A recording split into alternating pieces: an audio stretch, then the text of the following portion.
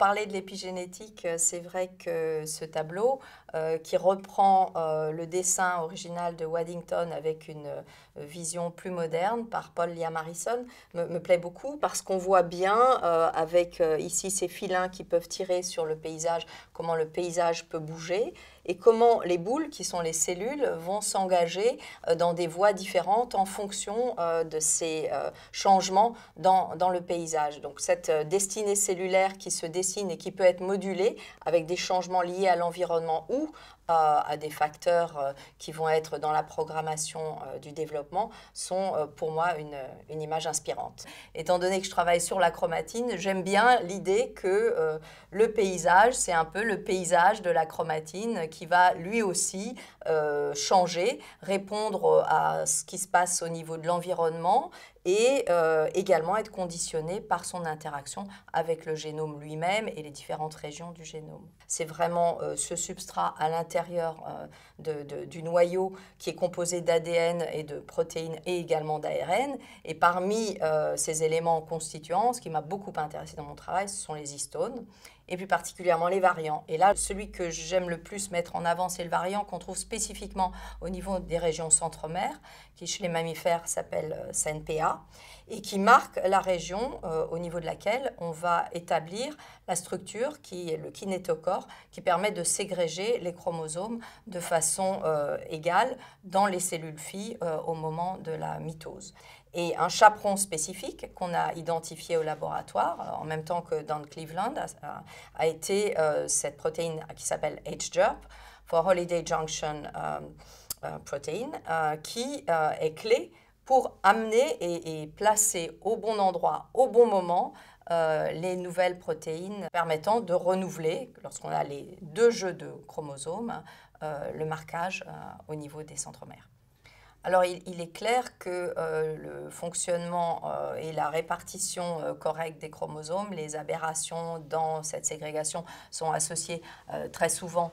aux problèmes de cancer. Donc, on a essayé d'analyser qu'est-ce qui se passait concernant à la fois le variant et le chaperon en question dans une série de cancers. Et on voit qu'il y a une surexpression importante euh, de CNPA et euh, de HJER dans les cancers les plus agressifs, plus particulièrement ceux qui sont euh, affectés au niveau de la protéine P53, gardien du génome. Donc c'est vrai que ça nous a amené à regarder cela d'un peu plus près et d'essayer de comprendre si ça pouvait également être un signe qui présentait une vulnérabilité particulière de ces tumeurs dans lesquelles on a cet excès euh, de, du chaperon euh, Et donc on, a pu, en interférant euh, sur des systèmes euh, modèles, on a fait ça sur des allogreffes dans lesquels on a introduit un système inductible pour diminuer l'expression de HJERP dans des euh, lignées qui avaient une surexpression pour commencer. Et dans ce contexte-là, on s'aperçoit que la capacité à former des, tumeurs chez l'animal est très, euh, très limitée. Donc il y a un différentiel euh, qui est intéressant à essayer d'explorer. Donc aujourd'hui, on aurait envie de, de, trouver, d'aller vers des drogues qui pourraient cibler spécifiquement un chaperon en particulier. Alors, dans ce qu'on fait euh, au laboratoire euh, sur euh, certaines drogues qui nous intéressent, en, particulier, c'est les inhibiteurs d'une enzyme qui s'appelle SUVAR39, qui est un inhibiteur, donc là, il s'agit d'inhiber une, une, histone méthyltransférase, qui impose comme modification la méthylation sur la lysine 9 de l'histone H3 et euh, qu'on retrouve euh, très fortement enrichi dans les régions correspondant à l'hétérochromatine. Donc SUVAR 3.9, on s'est rendu compte dans la différenciation lymphocytaire en particulier qui avait un rôle important pour euh, un peu bloquer la plasticité, quand on regarde sur les cellules T, de, basculer des cellules T, TH1 à TH2. Donc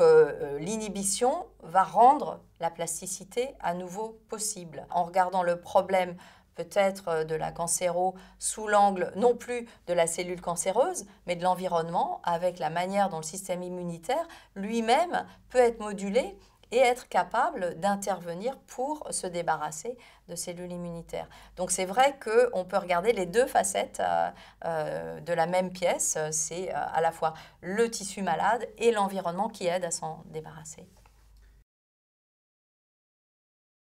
Quand on parle de science euh, au féminin, euh, je crois que pour moi, euh, ça remonte à des sources, des personnes qui m'ont inspirée. Et c'est vrai que la figure de Marie Curie est pour moi extrêmement inspirante. Et là où elle m'inspire le plus, c'est avec cette phrase qu'elle a dite, c'est que la science est d'une grande beauté. Et, et pour moi, c'est tellement vrai, cette grande beauté. c'est la beauté qui pense les peut-être les, les douleurs qu'on pourrait avoir par ailleurs. Euh, et c'est vraiment ça, c'est quand on se sent pas bien, euh, la beauté, ben, ça fait du bien.